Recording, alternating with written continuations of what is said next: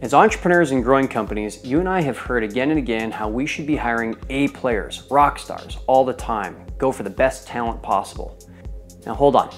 Is that actually true? There's a study, a fascinating study of 200 companies that might tell us otherwise. In the next few minutes, I'm going to share with you some fascinating research of real world companies from the United States of America that might prove otherwise.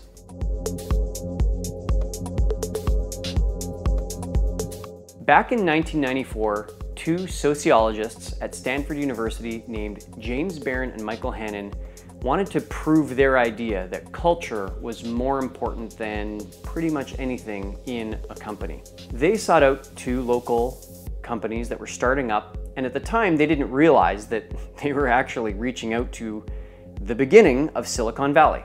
Over the next 15 years, they tracked the progress of over 200 companies to try and figure out the impact of culture on company performance. What they discovered absolutely floored them.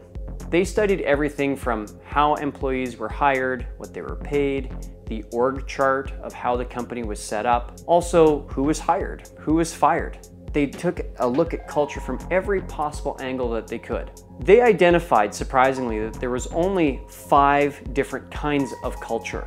Amongst all those 200 companies, it came down to just five different cultures. The first of the five is called star culture.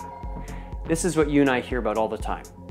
Let's go and get the best possible talent from the best universities, possibly recruit people from other top companies, put the best people in the room, and hopefully give them enough money to get started, and voila, you should have a winning team, right? Well, let's see.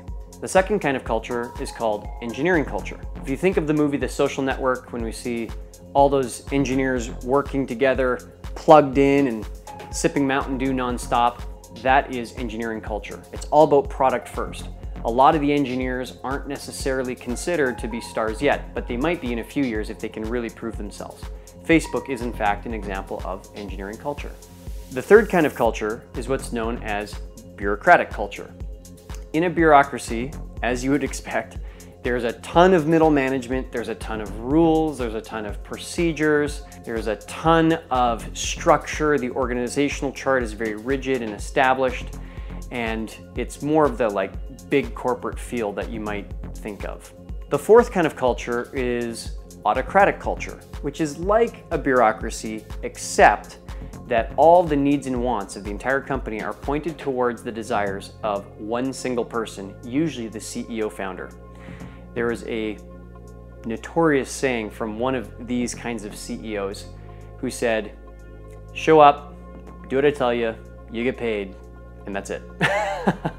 now, the fifth kind of culture is what's known as commitment culture. This is considered outdated and old. It's the old school, care about the company first. It's a big focus on human resources and training, and it's all about slow and steady growth and considered actually by many executives to be a thing of the past.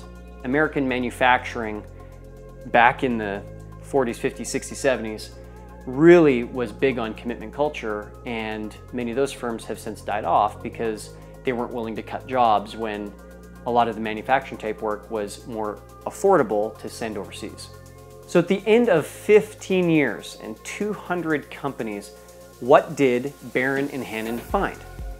Incredibly, they discovered a few things. Number one, as expected, the rockstar cultures, in fact, did produce some of the biggest successes of any of the companies they followed. They had valuations, some of them into the billions of dollars, and are some of the most famous names that we can think of coming out of Silicon Valley. Now, surprisingly, the star culture also produced many of the biggest failures. There's tons of internal rivalries inside of a rock star culture, and when, it, when they crashed and burned, it was pretty spectacular. On the other end of the scale, they were astounded to find out that the surest bet of all, the one that most consistently was successful, was actually commitment culture. They witnessed how commitment culture had way more trust amongst teammates Because they invested far more into training, everybody was able to be more autonomous. There was less middle management. The teams were more flexible and agile. They were quicker to see market changes because they knew their customer better. Because they had more time and more patient in finding top talent, they were able to get just the right candidate for the right spot who's more autonomous and self-directed. And because they valued the worker experience inside the team, teammates stuck around for far longer. A hidden advantage to commitment culture is that you don't lose the customers and the knowledge that you lose when you, a team member goes away somewhere else. In fact, commitment culture companies were consistently the most profitable. They were the fastest to go to IPO. And this last point absolutely blows me away. Not a single commitment culture company failed. Not a single one failed. Of 200 companies, those that were commitment culture, after 15 years, not a single one of them failed. So now you might be wondering, well, if commitment culture is so effective and so profitable, why do venture capitalists talk about rock star businesses, that star culture, so much? Well, you need to realize that for a venture capitalist to be successful, their approach is let's invest in 10 companies knowing that only one or two are going to hit. And those one or two are going to be a huge success and it's going to make up for the eight or nine losses that we invest in as well. So for them, it's about playing the odds and finding that one absolute jackpot. But on the flip side, what if we're talking about you and I? We are the entrepreneurs. We're not investing in 10 companies. We're investing in one. That's our company. All chips in, time, energy, money, everything is going into one single company, our company. To have a commitment culture means that we are giving ourselves the highest possible odds of actually succeeding and being sustainable over the medium and long term. It's not, for us anyways, it's not about just one big payday and kind of like rolling the dice. This is about us having to cut our own check on a week in and week out basis and also help everybody else who's on our team. The topic of culture is a huge one and it can fundamentally change the direction of your company based on what culture you build inside your team. For more information on this topic, I encourage you to check out a book called Faster, Better, Smarter, I think it's called, by Charles Duhigg.